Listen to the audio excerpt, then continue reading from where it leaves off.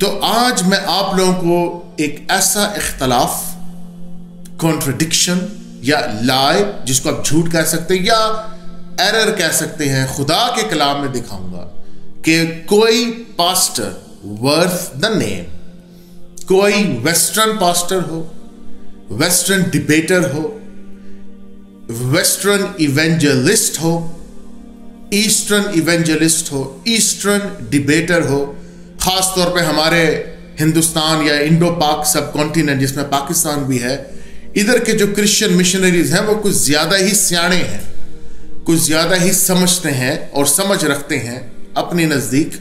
और बेचारे वो जो मगरबी पास्टर है, भोले भाले, उनको बेवकूफ़ समझते हैं। तो वो हों बेशक, वो भी आ जाएँ जिनको ना उर्दू आती है, जिनको ना अरबी आती है, जिनको ना इंग्लिश आती है जिनको ना ग्रीक एंशियंट आती है, जिनको ना एंशियंट हिब्रू आती है। लेकिन वो डिबेटर हैं और डिबेट करने के लिए तैयार हो जाते हैं। इतनी घटिया इतनी घटिया एपोलोजेटिक्स आज कर मैं जो देख रहा हूँ ऑनलाइन होती हैं, हर बंदा डिबेट कर रहा है और क्रिश्चियन जो है, दो सबक पढ़ लेता है कुरान के खिलाफ और फिर आके वो ऐसे चौधरी बन के डिबेट करना शुरू हो जाता है।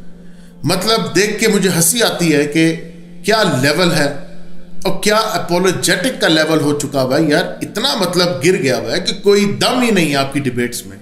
कोई आ, कोई जो आर्ग्यूमेंट्स हैं उनकी कोई पॉजिटिविटी ही नहीं है। आर्ग्यूमेंट्स के अंदर कोई वज़न ही नहीं है। सवाल करना नहीं आता जवाब देना नहीं आता। सवाल और इतराज़ का भी नहीं पता कैसे पेश करना है। और जवाब भी उसका चाहिए। मतलब सवाल का इतराज़ भी हम सिखाएँ, भाई, ऐसे नहीं, ऐसे सवाल करना चाहिए था आपको, और इसका ये एक जवाब बनता है। ना सवाल आता करना, ना जवाब देना आता है, लेकिन डिबेट करनी आती